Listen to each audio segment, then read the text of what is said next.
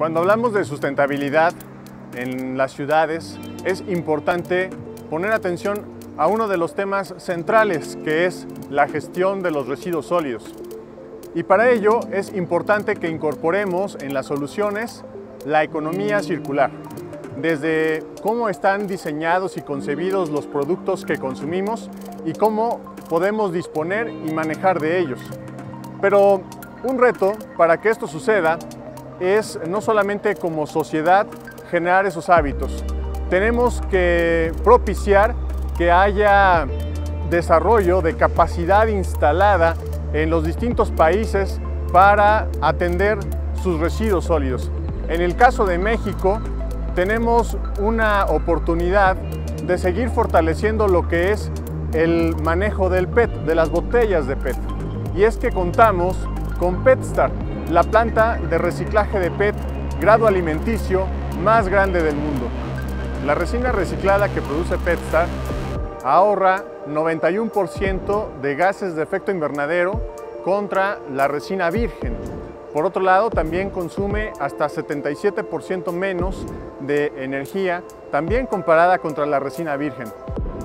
Las botellas de PET que son procesadas por PetStar, además del valor ambiental que pueden generar, también están ocupadas de desarrollar a través de alianzas un valor social para comunidades, para distintas organizaciones.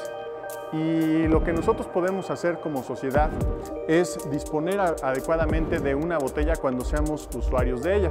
Por ejemplo, si tenemos alguna botella, lo que tenemos que hacer es estar seguros de que está vacía. Después tenemos que aplastarla claramente, eh, taparla, cerrarla y ya que la hemos cerrado, tenemos que disponerla adecuadamente en un contenedor. Esto nos permite, por ejemplo, hacer esta diferencia. Vean cuándo son 220 botellas que no están aplastadas contra el volumen que ocupan las mismas 220 botellas, pero dispuestas correctamente.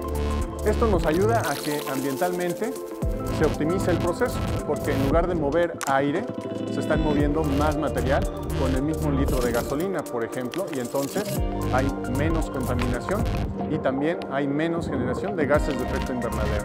Nosotros, entonces, como personas, cuando seamos usuarios de una botella, tenemos que seguir esos cuatro pasos. Vaciar, aplastar, cerrar y depositar las botellas para que esto permita que eventualmente terminen llegando a PetStar y se puedan reciclar con lo que ya hemos visto puede generarse un valor ambiental, social, económico y construir una economía circular de las botellas de PET.